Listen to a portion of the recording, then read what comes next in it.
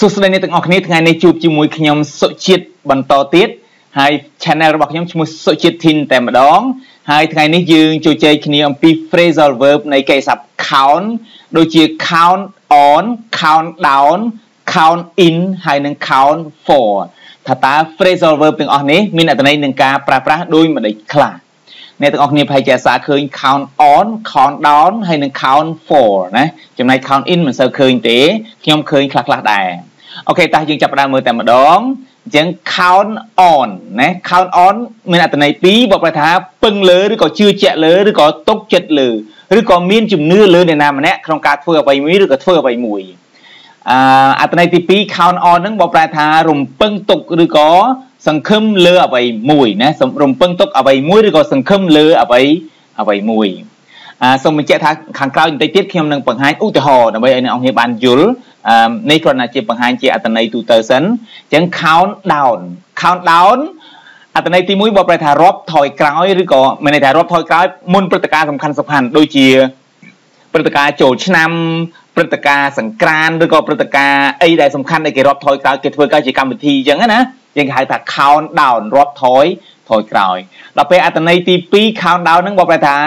អត្ថន័យអវិជ្ជមានណានៃត្រង់នេះគឺបើថារងចាំដោយអន្តះសាណាដោយសារយើងខឹងយើងស្អប់ឬក៏រងចាំដោយរំភើបបើសិនជាអ្វីដែលអវិជ្ជមានដែលរំភើបដែលយើងរងចាំហ្នឹងណានៅថារងចាំដោយអន្តះសាឬក៏ដោយរំភើបនៅអ្វីដែលអ្វីមួយដែលនឹងកើតឡើង ដល់ពេលខោខោដោនអត្ថន័យទី3នេះគឺជានាមបើបែរថាការរាប់ថយក្រោយអ្វីដែលយើងប្រើពេលចូលឆ្នាំពេលអីភិកច្រើនគឺគេប្រើ noun គេអត់សូវប្រើកិច្ចសព្ទទេប៉ុន្តែយើងនឹងមើលទាំងអស់ណាចឹង count for count for ហ្នឹងបើប្រែថាចាត់ទុកឬក៏រាប់បញ្ចូលចាត់ទុកអ្វីមួយថាសំខាន់ឬក៏ចាត់ទុកអ្វីមួយថាមានតម្លៃឬក៏រាប់បញ្ចូលថាអ្វីមួយវាមានសារៈសំខាន់ឬក៏អ្វីមួយវាមានតម្លៃអីចឹងទៅ count in ណា count in បើប្រែថារាប់បញ្ចូលឬក៏ដាក់ឈ្មោះបញ្ចូល ក្នុងផែនការឬក៏ក្នុងកម្រងឬក៏ក្នុងពិធីជប់លៀងឬក៏ពិធីដើរកំសាន្តអីផ្សេងៗទៀតគេហៅថា count in ណារាប់បញ្ចូលឬក៏ដាក់ឈ្មោះបញ្ចូលឥឡូវយើងមើលឧទាហរណ៍តែម្ដងសូមកុំភ្លេចជួយចុច Subscribe និងសញ្ញាកណ្ដឹងដើម្បីទទួលបានមេរៀនថ្មីៗជាច្រើនទៀតដែលខ្ញុំនឹងផុសជាបន្តបន្ទាប់អញ្ចឹង count on អញ្ចឹងលោកអរគ្នាបានដឹងមិញណា count on មកប្រែថារំពឹងលើណារំឬក៏ពឹងលើពឹងលើអ្នកណាម្នាក់ណា I count on somebody I count on him I count on you មែនថាខ្ញុំពឹងលើឯងហើយឬក៏ I count on my my children ខ្ញុំជឿជាក់លើកូនរបស់ខ្ញុំ I count I count on my friend ខ្ញុំទុកចិត្តលើឬក៏មានជំនឿលើមិត្តភ័ក្តិរបស់ខ្ញុំក្នុងការប្រកួតក្នុងការប្រឡងក្នុងការទៅរៀនមិនមិនកិច្ចសាលាអីចឹងទៅណាអានឹង count on ណាមានន័យអញ្ចឹងណារំពឹងទុកឬក៏សង្ឃឹមលើអត្ថន័យទី2ហ្នឹងលើអ្វីមួយឥឡូវយើងមើលឧទាហរណ៍ the whole team count on you okay the whole team count on you so you can't let them down អញ្ចឹងមាន phrasal verb 2ទី1 count on ទី2គឺ let down អញ្ចឹង count on ហ្នឹងបកប្រែថាជឿជាក់អូខេឬក៏ទុកចិត្តលើដល់ពេល let down កន្លែងនេះបកប្រែថាធ្វើឲ្យបាក់មុខណា let them down ធ្វើឲ្យពួកគេបាក់មុខឥឡូវ whole ហ្នឹងបកប្រែថាទាំងមូលអញ្ចឹង the whole team បកប្រែថាក្រុមទាំងមូល count on you ណា ទុកចិត្តលើឯងហើយឬក៏ជឿជាក់លើឯងហើយ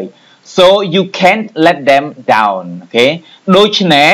អ្នកមិនអាចអូខេធ្វើឲ្យពួកគេបាក់មុខណា let them down ធ្វើឲ្យពួកគេបាក់មុខឬក៏ធ្វើឲ្យពួកគេខូចខូចឈ្មោះអីចឹងទៅ Your parents count on you to study hard ចឹង study hard បើប្រែថាខិតខំធ្វើការចឹង your parent បើបែរថាឪពុកម្ដាយរបស់អ្នកឬក៏ម៉ែឪរបស់អ្នក count on you មកថាទុកចិត្តលើអ្នកអូខេឬក៏ជឿជាក់លើអ្នក to study hard ក្នុងទុកចិត្តលើអ្នកក្នុងការខិតខំរៀនសូត្រឬក៏ជឿជាក់លើអ្នកក្នុងការខិតខំរៀនរៀនសូត្រ Please count on them okay please count on them they will do it if they promise okay promise បើតែសន្យា ចឹង please count on them បើប្រែថាសូមទុកចិត្តលើពួកគេចុះណា please count on them អឺគាត់ឃើញម្នាក់គាត់ធ្វើការដូចមិនសូវជាលឿនលឿនឬក៏ឬក៏គាត់រវល់អីចឹងទៅថាដូចមិនសូវទុកចិត្តសោះប៉ុន្តែម្នាក់ទៀតគាត់ប្រាប់ថា please count on them សូមទុកចិត្តលើពួកគេចោល they will do it ពពួកគេនឹងធ្វើវា if they promise បើសិនជាពួកគេសន្យាហើយ អូខេអញ្ចឹង count on ហ្នឹងបើប្រែថា ទុកចិត្តឬក៏ជឿជាក់ឬក៏មានជំនឿលើអូខេ organizer count on good weather OK OK organizer count on good weather អញ្ចឹងអឺ count on ឡើយនេះបើប្រែរំពឹងទុកឬក៏សង្ឃឹមថាអ្វីមួយយ៉ាងម៉េចលើអ្វីមួយអញ្ចឹងណាអញ្ចឹង organizer អញ្ចឹងបើប្រែថា organizer បើប្រែថាអ្នករៀបចំណាអ្នករៀបចំកម្មវិធីជប់លៀងឬក៏អ្នករៀបចំកម្មវិធីរាំវង់ឬក៏អ្នករៀបចំកម្មវិធីអីចឹងណាក្នុងពេលចូលឆ្នាំចូលអីចឹងទៅ organizer អញ្ចឹងអ្នករៀបចំកម្មវិធី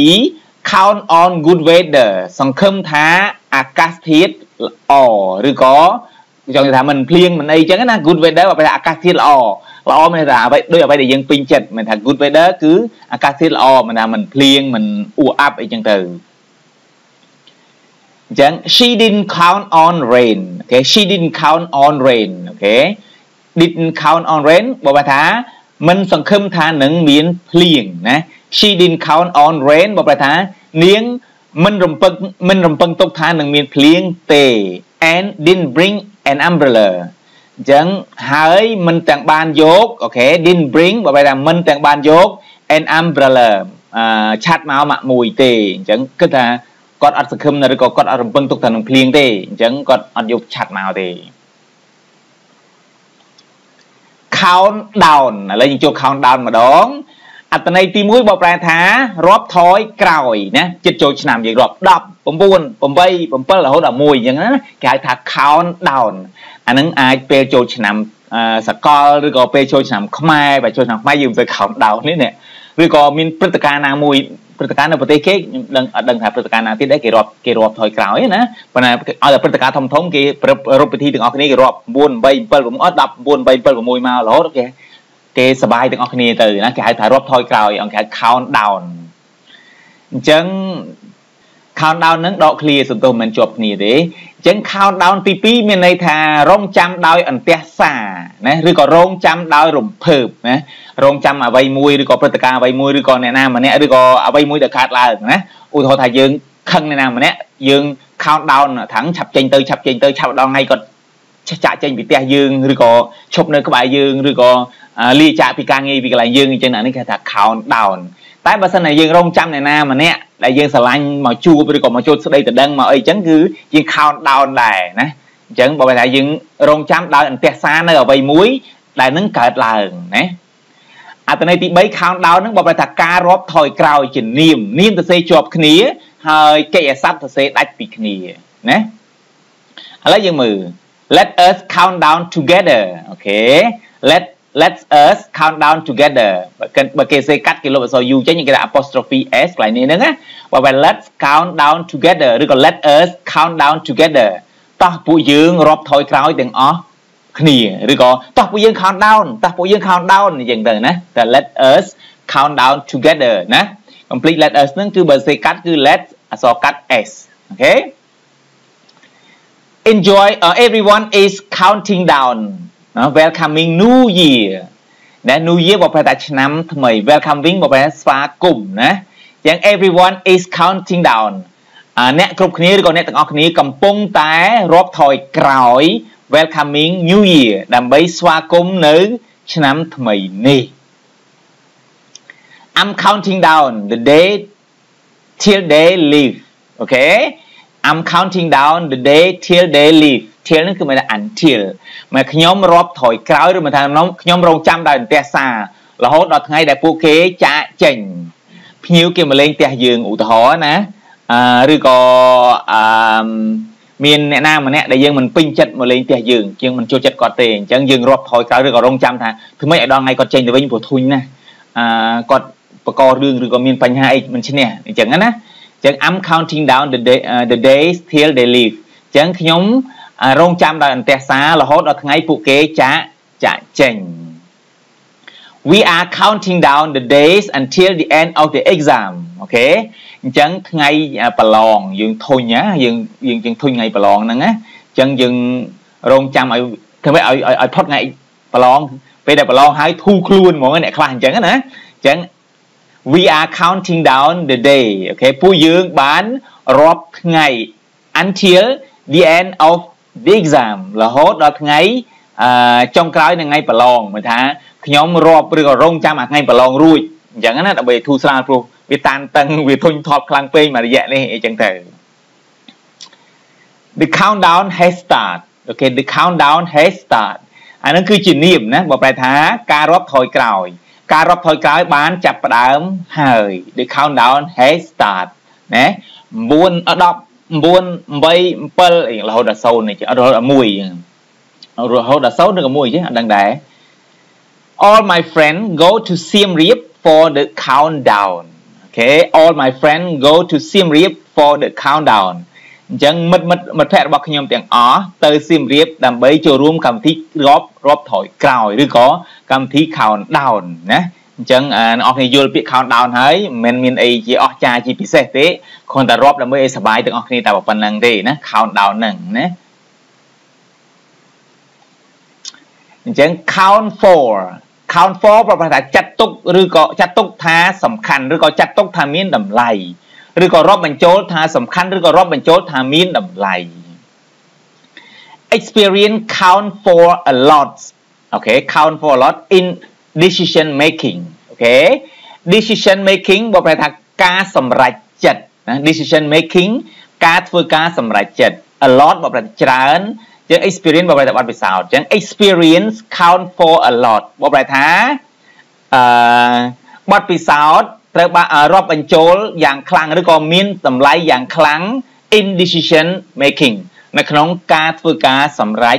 សម្រេចចិត្ត all your previous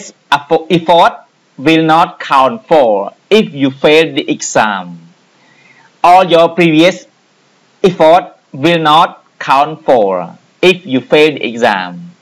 if you fail the exam មកប្រែថាបើអ្នកប្រឡងធ្លាក់បើអ្នកបរាជ័យការប្រឡង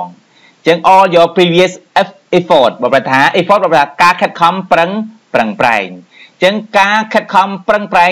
ពីដំបូងឬក៏ពីដើមរបស់អ្នកទាំងអស់ will not will not count for នឹងមិនត្រូវបានរាប់បញ្ចូលទេ if you fail the exam បើសិនជាអ្នកប្រឡងធ្លាក់ count in ណា count in នឹងបើប្រែថារាប់បញ្ចូលដែរឬក៏ដាក់ឈ្មោះបញ្ចូល ក្នុងផែនការក្នុងគម្រោងឧទាហរណ៍ថាអឺកណ្ដាំងយប់នេះយើងដាក់យើងទៅដើរលេងជុំគ្នាអឺទៅដើរលេងទៅប្រហែលអ្នកសៀមរាបថាទៅលេងមុខអង្គរអញ្ចឹងណាទៅអង្គុយញ៉ាំអី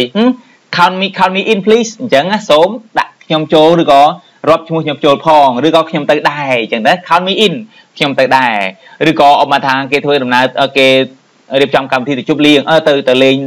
នៅកំពង់សោមអញ្ចឹងថារាប់ខ្ញុំចូលផងដាក់ឈ្មោះខ្ញុំចូលផងទៅអញ្ចឹងណា okay count me in ឬក៏ count in if you plan to visit Angkor Wat please count me in okay if you plan to visit Angkor Wat បើសិនជាអ្នក ក្រងឬក៏រៀបផែនការទៅលេងប្រាសាទអង្គរវត្ត please count me in សូមអូខេដាក់ឈ្មោះខ្ញុំមួយផងឬក៏សូមរាប់ខ្ញុំបញ្ចូលផងចាំប្រមូលលុយតាមក្រោយអីចឹងទៅ count all the stuff in the party tonight អូខេ count all the stuff in the party tonight អញ្ចឹងបើថារាប់បញ្ចូលឬក៏ដាក់បញ្ចូលឈ្មោះបុគ្គលិកទាំងអស់ទៅក្នុងកម្មវិធីជប់លៀងនេះណា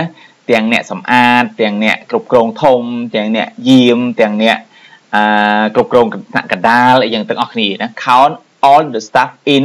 the party tonight អញ្ចឹងរាប់បញ្ចូលនៅបុគ្គលិកទាំងអស់នៅក្នុងកម្មវិធីជប់លៀងនៅពេលយប់នេះអរគុណដែលបានសិក្សាមេរៀននេះជាមួយគ្នាសូមកុំភ្លេចជួយចុច Subscribe ដើម្បីទទួលបានមេរៀនជាច្រើនទៀត ខ្ញុំមានមេរៀនជាច្រើនដូចជាមេរៀនបកប្រែកាសែតមេរៀនពាក្យថ្មីថ្មីមេរៀនសន្ទនានិងប្រយោគសន្ទនាជាច្រើនទៀត